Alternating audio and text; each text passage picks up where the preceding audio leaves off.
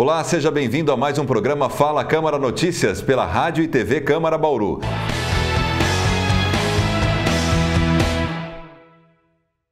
A Comissão de Transportes da Câmara de Bauru recebeu membros do Conselho Municipal de Mobilidade Urbana. Eles vieram até a casa para tratar um projeto de lei que está em pauta que altera as funções desse conselho. A Comissão de Transportes recebeu nesta semana membros do Conselho Municipal de Mobilidade Urbana.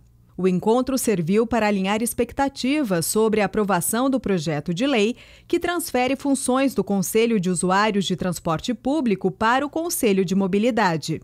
Se aprovado, o texto dá ao grupo a possibilidade de opinar sobre assuntos-chave do transporte, como o reajuste da tarifa de ônibus. Hoje, ambos os conselhos eles são consultivos, eles não são deliberativos, portanto, o executivo ele tem que consultar esses órgãos, escutá-los. No entanto, eles não têm um papel é, decisório né, para tanto questões de aumento de tarifa quanto a questões é, administrativas e contratuais é, referente ao sistema de transporte público. É, em outras discussões, o Conselho também ele já vem requerindo que ele de, passe a ser deliberativo, não só por conta de tarifa, mas por conta é, do próprio fundo de mobilidade e outras decisões que a gente entende que a sociedade tem que participar de forma mais ativa frente ao Executivo. Né? E é um momento bastante importante para isso, lembrando que a gente tem esse ano revisão de plano diretor e processos participativos cada vez mais sendo demandados pela sociedade. As novas regras discutidas na reunião também mudam o caráter opinativo do órgão e o transformam em conselho deliberativo. A importância de um conselho deliberar é que ele passa a ser parte das decisões do poder público.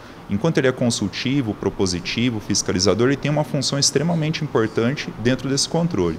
Porém, ele não consegue participar das decisões. Sempre que chega na última instância, quando vamos decidir um determinado assunto, e o da tarifa é fundamental para uma cidade, inclusive para a melhoria da mobilidade, os conselhos não têm é, essa capacidade.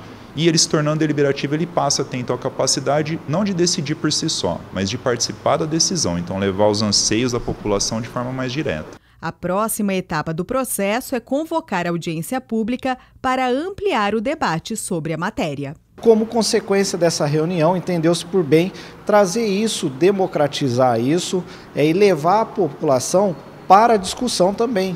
Então, nós é, convocaremos uma audiência pública para o dia 5 de novembro para que a população também possa opinar. Primeiro, em relação a essa alteração do Conselho de Usuário para o Conselho de Mobilidade, a fim de fazer as validações e checagem é, da propositura de aumento, e também para que possa é, opinar sobre o caráter consultivo ou deliberativo é, desse Conselho. A vereadora Thelma Gobi está preocupada com a atual situação da lanchonete do Zoológico Municipal de Bauru. Confira as informações com o jornalista Nelson Gonçalves. A vereadora Thelma Gobi abordou a dificuldade na instalação dos serviços da lanchonete do Zoológico Municipal e chamou atenção sobre o cumprimento do contrato em relação ao que foi decidido na licitação. Houve uma licitação, uma, um pregão lá para que uma empresa assumisse e a empresa que ganhou disse que não tem condições de assumir porque o ambiente está todo depredado e que ela quer que entregue reformado. Então já existe aí uma, uma divergência entre a Indurb, que fez a, e o zoológico que fizeram a licitação, e quem ganhou. Porque um diz que ele tem que readequar, o outro diz que tem que receber readequado. Mas o que eu levantei também, eu não posso afirmar que é verdade ou não, eu recebi nesse final de semana algumas informações que a gente deve é, levantar de que o representante legal que ganhou a licitação para fazer o gerenciamento da lanchonete é, é, tem cargo de confiança da prefeitura. Então isso, por enquanto eu não cito o nome, não posso fazer isso porque não posso ser leviana, mas a gente vai ter que verificar isso, né? Porque se, se não for ilegal, no mínimo é imoral. A Câmara Municipal de Bauru foi palco de entrega de duas moções de aplauso. Uma proposta pelo vereador Serginho Brum e outra pelo vereador Manuel Lozila. Receberam as honrarias os professores Antônio Carlos e Cristina Maria de Melo Fogolin, além do SENAI, Serviço Nacional de Aprendizagem Industrial. Lozila homenageou os professores e destacou a dedicação do casal Antônio Carlos Fogolin e Cristina Maria Melo Fogolin à transmissão do conhecimento e à garantia do acesso ao ensino. Brum entregou moção aos alunos do Senai Bauru. O grupo conquistou o terceiro lugar na World Skill Competition, a maior competição de educação profissional do mundo. Saibam que, para nós que estamos na educação profissional, ter o reconhecimento da principal casa da cidade, onde se faz as leis, onde se fiscaliza a execução das leis, é de nobreza para todos nós, é orgulho e nos mostra que estamos no caminho certo, na qualificação profissional, na formação da juventude, na preparação de mão de obra.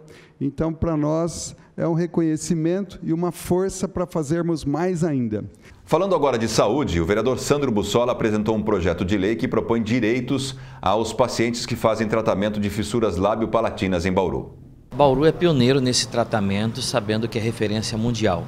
Nada mais que Bauru ser o primeiro a propor uma lei que dá todos os direitos de deficiência a essa população, a esses pacientes que tem um prazo de tratamento que às vezes dura a vida inteira. Então, na verdade, nós estamos garantindo todos os direitos de qualquer deficiente para esses fissurados que vêm fazer tratamento e quando são diagnosticados também nas unidades básicas de saúde do nosso município. A vereadora Chiara Renieri se reuniu com a direção do NER, Núcleo de Ensino Renovado, para conhecer os problemas estruturais da unidade que funciona no Núcleo Geisel. O local atende 420 alunos de primeiro ano ao nono ano. A diretora relatou diversos problemas estruturais na unidade que há algum tempo esperam por soluções, como, por exemplo, a falta de cortinas nas salas de aula e reposição de vidros quebrados, que foram solicitados no começo do ano. Principalmente a questão dos ventiladores, né? Que não sei pela fiação ou pelo excesso de calor que tem feito. Eles quebram muito, precisam periodicamente de manutenção e substituição. É, e também questões do parquinho, né? Os brinquedos eles é, quebram muito facilmente, a gente chama a equipe, vem, conserta, aí faz, na verdade, não é um conserto efetivo, consistente, porque daqui a pouco tem que consertar de novo. Nós não temos verba disponível para ficar comprando brinquedos, não temos brinquedos adaptados.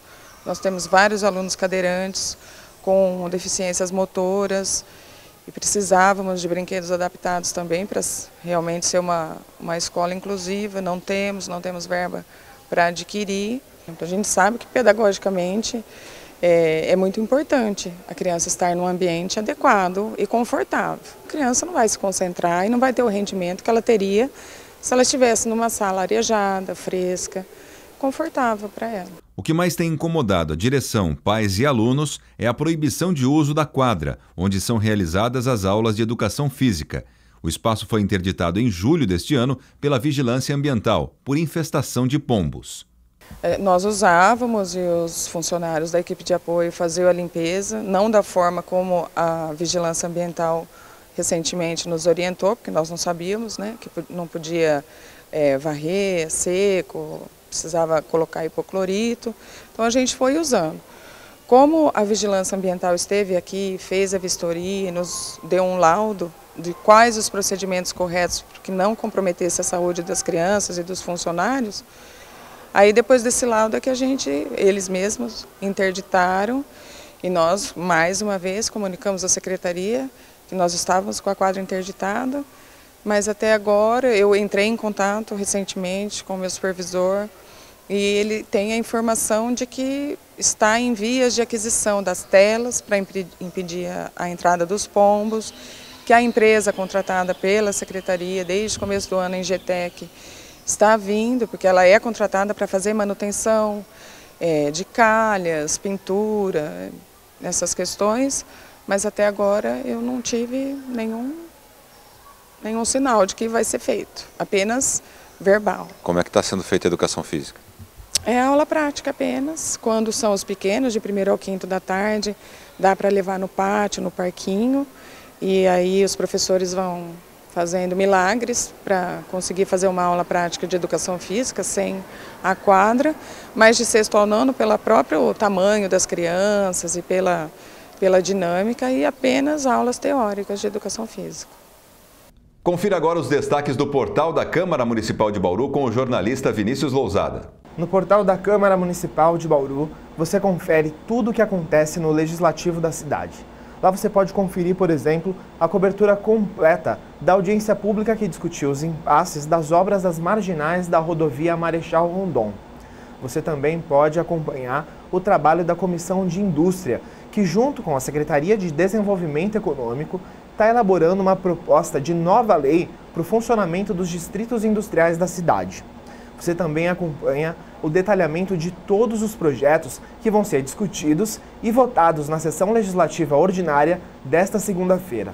O endereço é o bauru.sp.leg.br. Confira! Mudando de assunto, recentemente o prefeito Clodoaldo Gazeta anunciou que vai fazer um empréstimo de 46 milhões para o município de Bauru. O vereador Coronel Meira se reuniu com moradores do Jardim Niceia para discutir o assunto. Eu fiz a convocação regularmente no dia 10 de outubro, enderecei um ofício ao prefeito municipal, Clodoaldo Armando Gazeta, pedindo a presença do secretário de obras e de outros três diretores diretamente subordinados ao secretário de obras, que cuidam dos projetos, para que eles pudessem conhecer a realidade e a necessidade dos moradores do Jardim Niceia, já que o próprio prefeito, no projeto de lei em que ele pede uma autorização legislativa à Câmara dos Vereadores para um empréstimo de 46,6 milhões de reais, entre os quais o Jardim Niceia está incluso no tocante à pavimentação de ruas que ainda estão é, em terra, então, como inexiste projeto de drenagem, projeto de pavimentação, eu expliquei isso aos moradores e convoquei essa reunião na pessoa do senhor secretário de obras para que ele pudesse esclarecer aos moradores, aos representantes do bairro, né, o, o presidente da Associação dos Moradores, pudesse explicar o seguinte, se de fato há ou não projeto existente para a pavimentação do Uniceia. Qual é a dúvida? A dúvida é o seguinte, se porventura a Câmara autoriza um empréstimo de, 46 milhões, de mais de 46 milhões de reais, qual é a garantia que os moradores do Jardim Uniceia terão as suas ruas asfaltadas?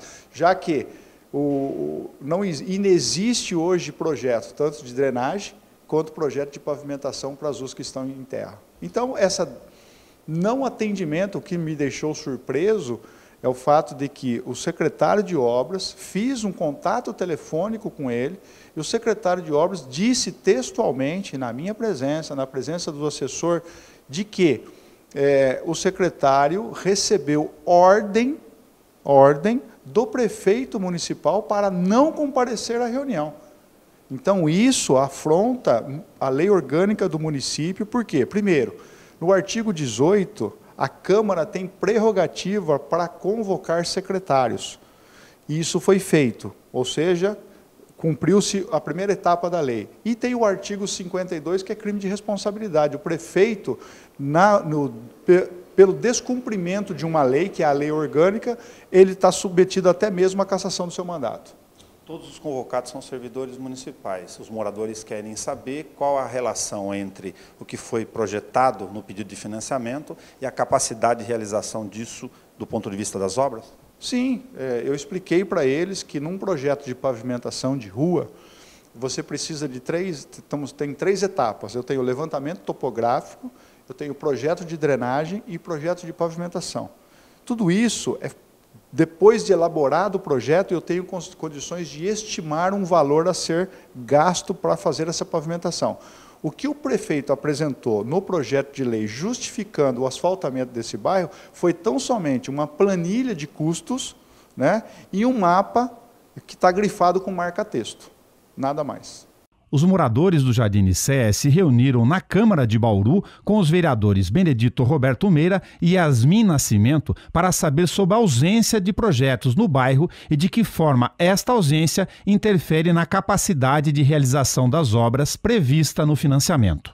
Na próxima segunda-feira, dia 21 de outubro, será realizada mais uma sessão aqui na Câmara de Vereadores de Bauru. Confira os assuntos em pauta com o jornalista Vinícius Lousada. A sessão da Câmara Municipal de Bauru desta segunda tem três projetos de lei para serem discutidos em primeiro turno.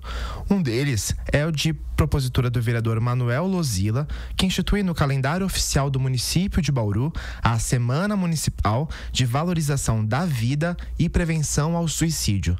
As atividades dessa semana devem ocorrer sempre em torno do dia 10 de setembro. Setembro que é o mês da campanha Setembro Amarelo de prevenção ao suicídio.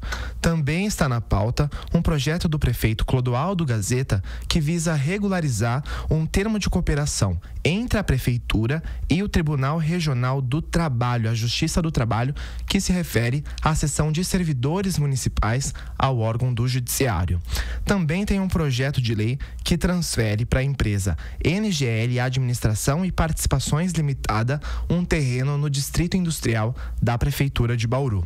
Já em segunda discussão, também vão ser eh, apreciados três projetos. Em destaque, o projeto do vereador José Roberto Segala, presidente da Câmara Municipal de Bauru, que concede o direito às pessoas com autismo a utilizar as vagas de estacionamento exclusivas para pessoas com deficiência. Encerrando a ordem do dia, em discussão única vão ser votadas duas moções de aplauso, de autoria dos vereadores Serginho Brum e Miltinho Sardim. Você acompanha a cobertura completa dos trabalhos legislativos pela Rádio Câmara Bauru, ao vivo a partir do meio-dia, pelos 93,9 FM ou pelo nosso aplicativo. A transmissão ao vivo da sessão também acontece pela TV Câmara a partir das 13 horas, no canal 10 da NET ou no 31.3 digital, também com transmissão no YouTube e no Facebook da TV Câmara. Nesta semana foi realizada aqui na Câmara de Bauru uma audiência pública para discutir a construção das marginais da rodovia Marechal Rondon. A audiência foi presidida pelo vereador Natalino Davi da Silva e contou com a presença do secretário de Obras de Bauru, Sidney Rodrigues. Nós tivemos hoje aqui uma, uma ótima participação, vamos dizer assim, a casa cheia, mas com essa frustração realmente da ausência de representante da Artesp. Nós temos que debater. Nós estamos num procedimento hoje, né, é, não importa realmente a magnitude do projeto, mas tem que ser discutido com a população e nós somos meros representantes né, no município para que realmente nós possamos entender melhor né, o, o, andamento desse projeto, mesmo porque realmente já houve mudança. E essas mudanças traz dúvidas. As dúvidas traz realmente uma série de, de consequências que até, talvez até prejudicial. Nós não podemos mais permitir o fechamento de nenhuma empresa mais em nossa cidade. Então, uma coisa muito séria. A gente percebe o que? Deixar de construir o projeto original, passando com a transposição em nível com a Duque de Caxias, a obra pode até sair mais rápido. Mas, porém, não vai demorar muito tempo para que, se venha novos investimentos, a gente tenha que interditar a Duque de Caxias novamente. Então, o ideal seria que fosse feito o projeto original para que a gente enfrente o transtorno, mas de uma vez só, uma vez que nós já estamos com obra em andamento. Essa foi mais uma edição do programa Fala Câmara Notícias, um espaço na TV e na Rádio Câmara para a discussão das atividades parlamentares dos vereadores de Bauru. Você também confere a reexibição deste programa em horários alternativos. Você fica agora com o programa Fala Câmara Entrevista, que recebe hoje o vereador e presidente da Câmara, José Roberto Segala. Muito obrigado pela sua audiência e até a próxima.